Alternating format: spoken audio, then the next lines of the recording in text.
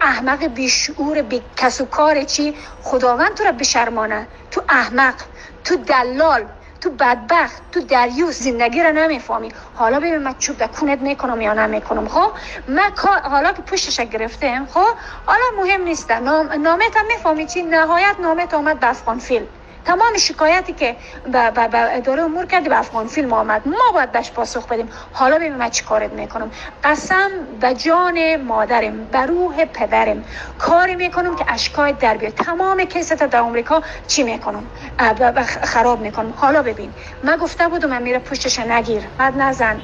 امیر رفاقت به گو نکشان. حالا دشمنی رو ببین. حالا ببین من چیکار می‌کنم. دکونه تو نکنم و زنت زیر برادرم نخوابانم. قسم می‌خورم. کاری می‌کنم که گوه گوه تو رو خو امشا از گورم که شده پیدا می‌کنه. خانه هم پیدا کرد.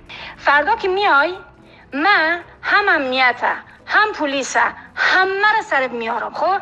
می‌فهمی چیز؟ که یک مرد یک توی کونی پدر نالد است تو را من گفتم این رفیقم است تو را سلام تعلیق کرد کرد تو نشست کرد تو برخواست خب؟ تو نمی‌فهمی چیزا را فهمیدی؟ الهی دخترت بدبخت بشه خب؟ بونمو چی از بزرگسالیش دوچار بشه؟ که تو آدم بشی فهم حالا ببین من چیکارت می‌کنم. من گفتم مرا سر لج نیار. دو مالیه که دولت گرفته تو به من تومد تومد نابحق می‌زنی؟ به خاطر نهایت 200 یا 300 هزار یا یا یک صد هزار افغانی کونی.